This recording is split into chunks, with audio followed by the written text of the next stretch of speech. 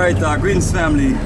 This is Bomani and we are on the way to Kumasi. And we're gonna have a nice uh, presentation and we're gonna talk about living and doing business or specifically doing business in Ghana. And our good brother Nana Yaw is gonna give some insights along with our brother Duncan. So the more questions you have, the more they can go to uh, certain details. My brother Nana, can you um, can you just go through certain basic steps of how to start a business in Ghana and requirements and the difference between someone who is a foreign national country and a Ghanaian, if there's a difference? Um, well, first of all, to start business in Ghana, you need to have a local partner. You need to have a local partner to partner with. So it means that you don't register it as uh, sole, we have sole proprietorship and limited liability, liability company, and then we have enterprises. So depend on which one, either company limited by liability or enterprise or sole proprietor. Now, if you want to do that, you need to partner with a Ghanaian, a local, to go do the registration. But you can also register your company at the Registrar General Department as a foreigner, but in that case, you will pay more.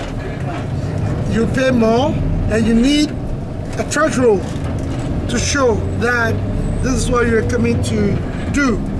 So, the, and that is payable in foreign currency, and then you will also you can pay in cedis by equivalent of that.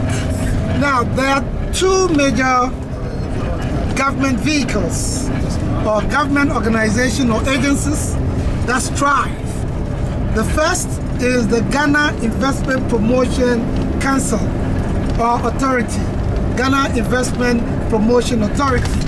That you can uh, go to their office, they are on the website, and then you they, are, they have their website. When you Google, you see Ghana Investment Promotion Authority, and they have their services that they offer, everything in there. Then we also have the Ghana Free Zones Authority. And in the free zones area, this is purely for manufacturing.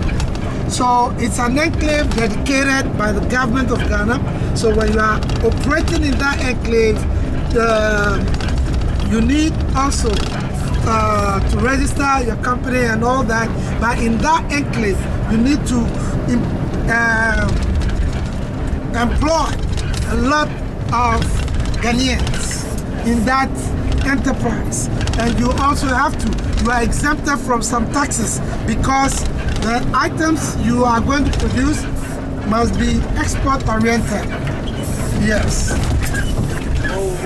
Must be export oriented. So you first of all go to the Registrar General's Department and you decide whether you want to register as a sole proprietor, as limited, or as enterprise. So we have them in various categories. Now also, in terms of, uh, we have uh, what we call the land tenure system. If you want to go into agriculture, you want to go into agric, you need to see the appropriate landowners. The appropriate landowners might be the chief or a family. Now, when you see them, then you come to a type of agreement that I want this land for maybe five years or six years to do this, to do agriculture. Now you might either pay them or you agree that when I produce whatever I'm going to grow, we'll divide it into three. And then one for the maintenance of the business, one for the people, and one for yourself. That is uh, all that you need. So you first of all need to register. And then also, you must have a registered company. You must have a registered company before you can. And then also you need, so when you register, you need also your tax identification number, what we call a TIN number. So when you register, they'll give you that. Now, they are linking everything to the Ghana uh, card or the ECOWAS card. And this is also open to foreigners who are in Ghana. You can get the Ghana card as a non-Ghanaian.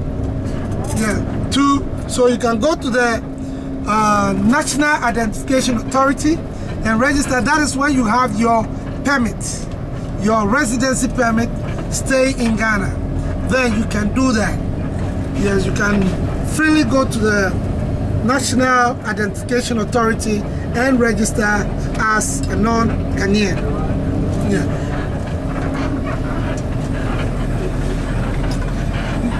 So, Yes. are you ready for questions? Yes. So, one of my questions, um, which you, I wanted to get a little more clarity about, is in regards to uh, being a non-Ghanaian uh, registered for this the card. You say it's called Echo. What is it called again? ECOWAS card, Ghana card. Let's just say Ghana card. Ghana card. Yes. So, as someone who may consider that option, and can I do I have to be in living in this inside of Ghana um, once I get that card, or, or when you are living in Ghana and you have you are legally residing in Ghana, the question is when do you get the Ghana card or when do you apply for the Ghana card as a non-Ghanaian?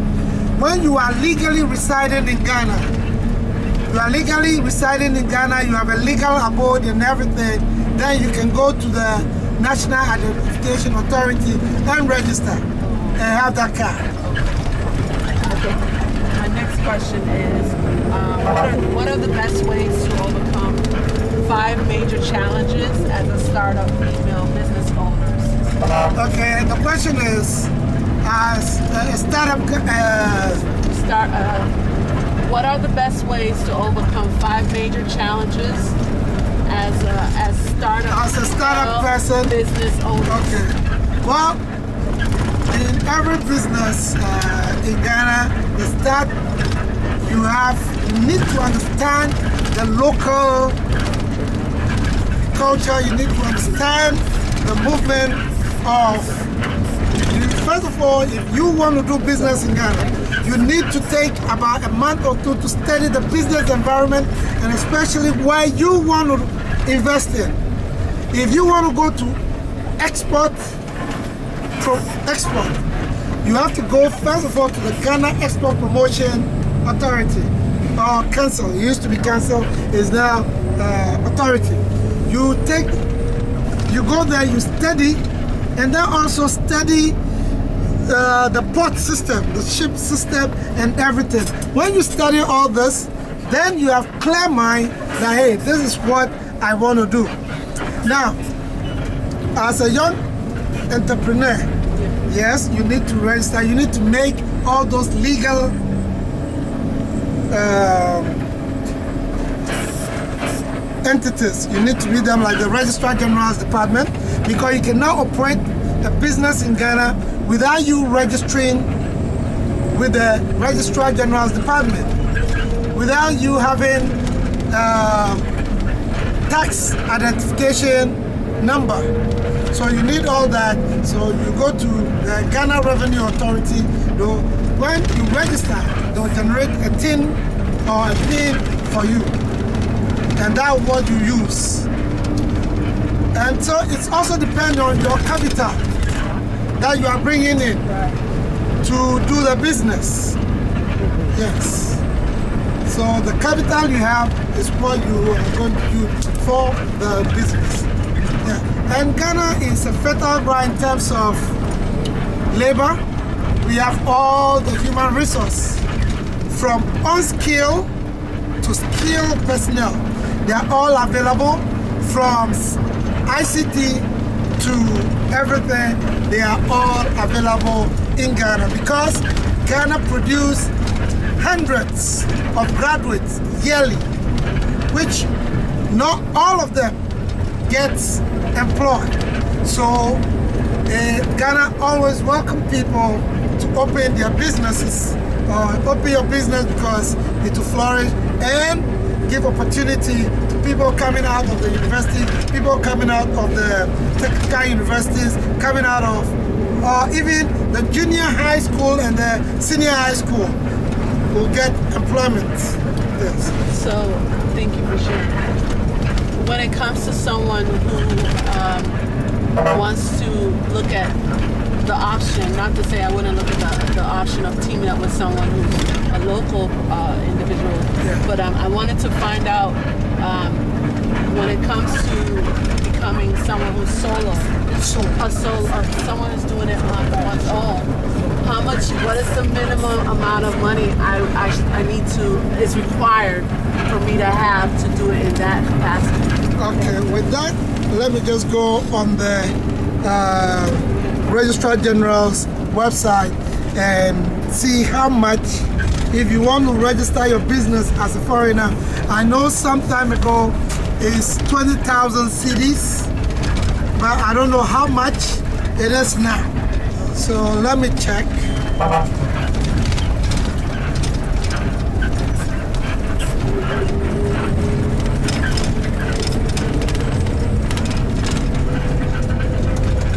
Now, also as I'm checking, when you are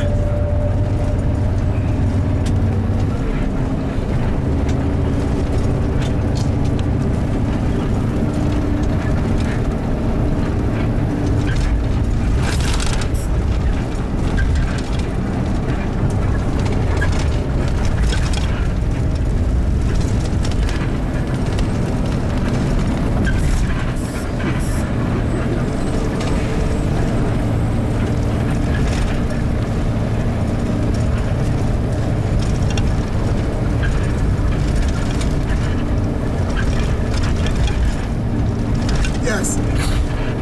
Like I said before, I am right. You still need one of directors should be resident in Ghana, should be a Ghanaian. So that you need is that and the minimum paid up share capital required to complete incorporation process amount to 500,000 US dollars There you go. for Wally So we can practice. Foreign owned company. When you're on your own, that's Yeah, when you're on your own. Yes. And when you're But this up. minimum is increased to a million dollar for a trading company. Now, a million dollar for a trading company because they welcome investors, but the country also want to protect its indigenous businesses.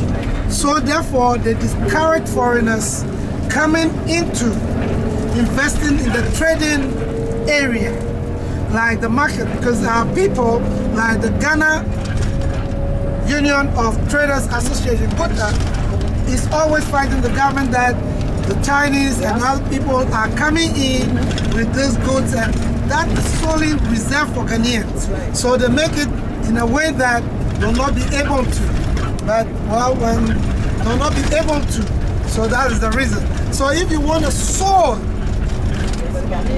you need 500,000 to, to do that. How much is it to? Uh, how much? was the minimum amount a person needs to have teamed up with someone who's? No, Ghanaian. yes, uh, to team up with somebody, that is going to be a discussion between you and your partner because you're going to register it by limited share. So you divide a share by your yourself. Either you take 20%, 10%, 5%, 3% is welcome. Yeah, so it depends on that and that you will send to the registrar general and you buy your form and you state the shares each person is having in that corporation or in the company. So the person doesn't need to have a, an initial uh, capital when teaming up with a Ghanaian who lives in this uh, in this country, right? No, you need to have a So capital. what is the minimum? That's what I want to find out. Well, the minimum, starting a business also depends on what you have. Oh, okay. Yeah, what okay, you have. so they're not imposing the No, no, no, no, no, no, no. fi- oh, No, it's Or not. You can, half a million. in your discussion, Oh, okay. I will understand. tell when you go to the registrar general department and you pay for the forms it will state limited by liability, enterprise or so. So depend on your Okay. okay. So you will state the shares. Yes. Okay. And uh, my last, well, my next question, Yes. someone else is uh, welcome to ask a question um, after I've asked this one. Uh, what are the best ways to raise funding for any type of registered business enterprise? Again, what are the best ways to raise funding for any type of registered business enterprise? In Ghana, uh, GoFundMe cannot be. it's not here. That's right. GoFundMe, no, no, no, it's not in Ghana. So what you do is, you come with your money, and then you open a bank account. Yeah. You open a bank account. After opening a bank account, and you do business with them for some months. Then you send your business proposal to the bank, and the bank will go through the business proposal. If they feel it's okay, and you show them your profit margins and your losses and all that, then and they are certified, well, then they can grant you the loan, which is. But if you are a foreigner, they also want to see your resident permit. They will want to see your permit that you are legally residing in Ghana. You have a proper place of abode, and then you also show a collateral. And that is why it's always good to partner a local person. Oh yeah. Because if you don't partner a local person, he might, that local person might not be not a very rich person, not uh, all that, but by all means, he or she has some family That's right. property That's somewhere. Right. That's right. And so he can use that, or she can use that as a collateral back the loan.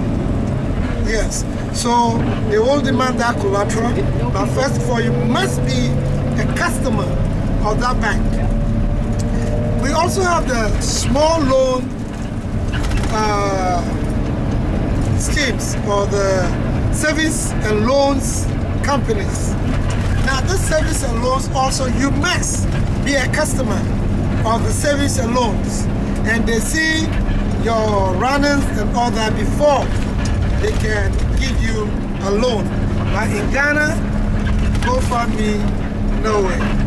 You can do it that also with yourself. In order also, if you're in the small sector business, where loan is difficult, we also do what we call SUSU, Oh yeah. We have that. S-U-S-U. We have it in the U.S. Uh-huh. Yeah. So SUSU cool. We have that. is a way of also raising capital that. among peers or friends, Li- like-minded friends Right. You got that right. who will do that. You do the SUSU and then you take this month, another take the next month, another take the next month, and that's how that. then you invest that into your business. So if you want to do export, import, you go to the Ghana Investment Promotion Authority. And then, now, if you are bringing in food items, you want to invest in the food and beverages sector, after you do all the registrations, you need to go to the Food and Drugs Authority and the Ghana Standard Authority to give you clearance. Every beverage or food item onto the Ghanaian market must be approved and your advertisement also must be approved by the Food and Drugs Authority. That is, when you clear those hurdles, then your products can be sold in the market. If you don't do this, when you put it in the market, the Food and Drugs will put a disclaimer on it and tell the people this is not wholesome for consumption and therefore he has not sanctioned it and it must be pulled out of the shops. So you need to go to the Food and Drugs Authority for approval before you can bring all those things into the market. Yes. Thank you for answering the questions. a shrub? Yes. I have a Yes. Airbnb. Yes. I have my biggest have, have, you know, license. Like my mom, like one from Craig to uh, rent that out and stuff like that under a business license or. Yes. I go. All hospitality industries in the country, you need, first of all, to register as a general business, telling the registrar general, uh, the registrar general department what area of enterprise, what area of business you want to do. After that, you then go uh, all the hospitality or hotels in Ghana. You need to go and register or get a license from Ghana Tourism Authority. Now, Ghana Tourism Authority gives a yearly license because after a year they'll come and evaluate your premises to see that the basic things that make the visitor comfortable is there. And if it's not, they'll ask you to close down and do what you had to do before. Likewise, the restaurants and all that, you need to have a license from the Ghana Tourism Authority for you to operate. But recently, the Airbnbs are not being checked, so they are roping them in. Now that you need to register with the Ghana Tourism Authority because they, the Act of Parliament are giving them that authority to make sure that all sites and hospitality uh, industries form are, are up to standard. With and therefore when you go to any of these hotels and the standard is not you can report to the Ghana Tourism Authority and they can take it up. Yes. So first of all you need to register after registering and you want to turn it into a guest house or one star hotel a budget hotel or whatever you need to go to the Ghana Tourism Authority to get it registered and licensed.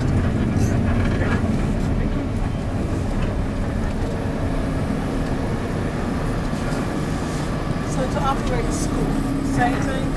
Yes, to operate school, you need to also register with the Registrar General. After, after putting up the school, you need to go to the Ghana Education Service. Now, the Ghana Education Service is the agency of the Ministry of Education, or what you call Department of Education. They do the day-to-day running of the schools. So you go to the Ghana Education Service and then you register and approved. They will approve your school for operation. And after the approval, if you are running a tertiary, after that approval, you are running a tertiary, all the courses or the programs you are going to run, you need to send all those programs to the National Accreditation Board. The National Accreditation Board will credit your courses. So if they don't, those students cannot be graduated. So they have to approve all those programs of your school if you're running a tertiary. Likewise, when you are running the kindergarten and the primary or the elementary, you need to send or get all those approvals from the Ghana Education Service. In the health sector, likewise, if you want to invest in the health sector, like you want to put up a pharmacy, you need to register with the Pharmacy Council. And then the Pharmacy Council will give you that approval and authority to go and do or open your pharmacy. Uh, or hospital or all that, you need to go to the Ghana Health Facilities. We have the Health Facilities Authority, so they will check all those one and approve. Then we also have the Ghana Health Service, who oversee the day-to-day uh, running administration of health uh, care in Ghana. So you need to also approach the Ghana Health Service for all those things to be done. And then the Ghana Health Facilities is also another agency that oversee to the facilities at the hospitals. Then you also need a qualified, licensed medical officers registered if nurses. They must be registered with the Ghana Midwives and Nurses Association. They might be licensed. They have, they must have their register before.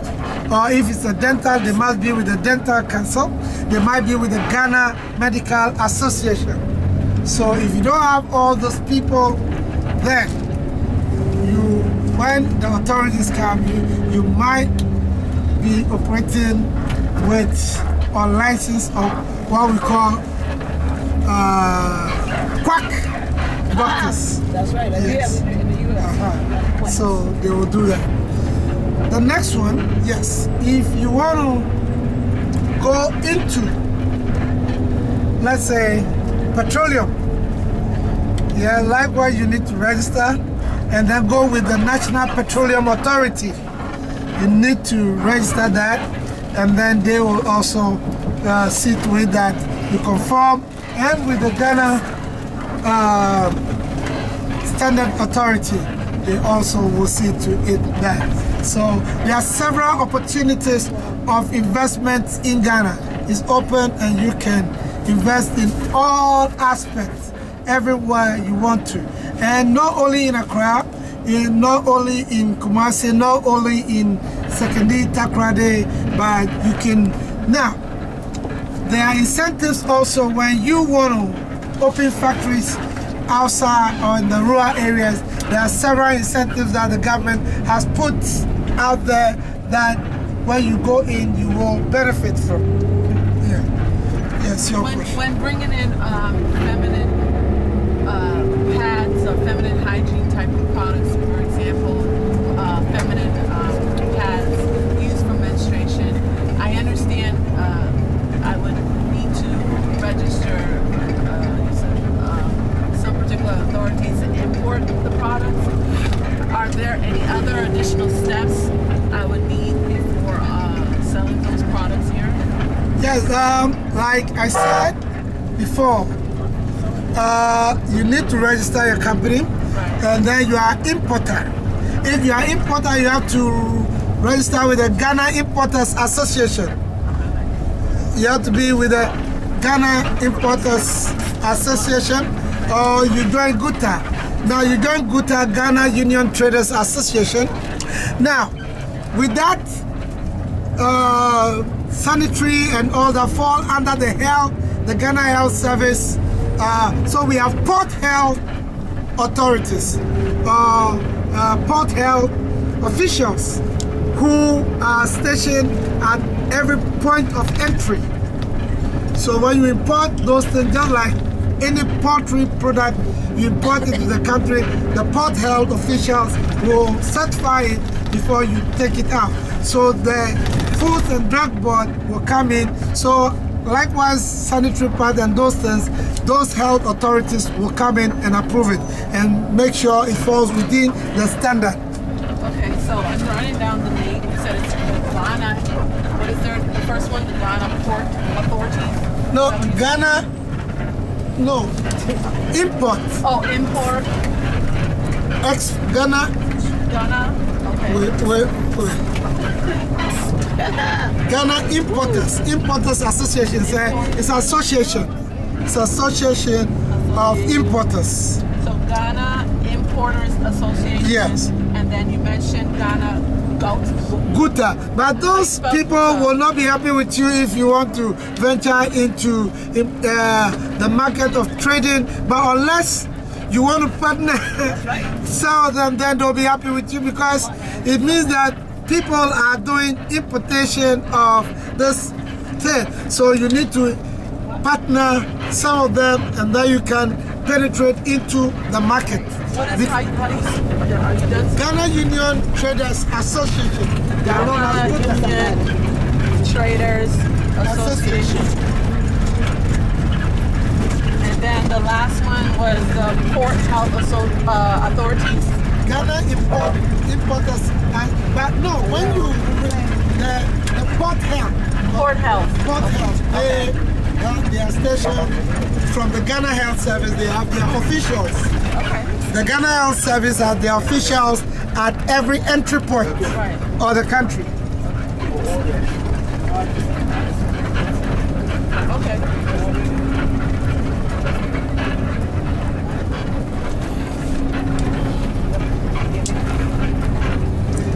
more questions? Thank you for answering my question.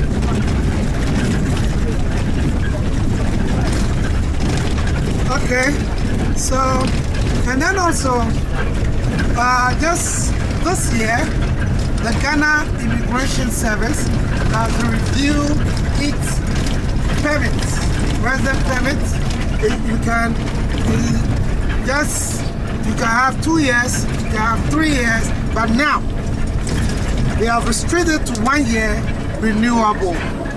So they'll give you one year residency and then you, re, you keep renewing every year. until Yeah. Until you decide to. Yes. So, and then also, if you set up all those companies, you must employ your workforce for 90% should be Ghanaian. Now, if you are bringing, you must prove to the authorities that you are importing that human resource because you are, you are finding difficult to get one in the country. So those are the things. And then if you are bringing all those people in, then you have a lot of money to pay because they will charge you for all the services and all that. Yes. So thank you. If you have, if you don't have any more questions, thank you very much. And oh. yes. I was gonna say, yeah, and, and about, how about the people that's not, you know, doing the business or anything, and they just want to come and like stay, you know, set up their house or their storefront or whatever, and just stay and enjoy life. Yes, they just want to come and Yeah, relax. they and retired, people that retired, everything. They may have a storefront and like rent a few apartments in their house. Uh, yes, all those people are welcome to Ghana. If you just want to repatriate and stay in Ghana, all that you need to do is either buy your house or build your house or buy your land and build your house and you are free to go. Just you have your legal stuff. That's all And the residency just and the residency just and you are good to go. And nobody, if you don't disturb anybody, right. nobody will disturb you. Oh, that's right. You can drive around Ghana at any time, any point. Yeah, that's all. Thank you. Yes. Yeah. Enjoy the good. Thank you, thank you. Uh, and if no more questions, thank you very much for paying attention to me. And if any further questions crop up in your mind, just alert me and I'll try. If I don't have the answers, You'll find it. I'll go to the website of the agencies and get to the answer. Thank you very much. Thank you.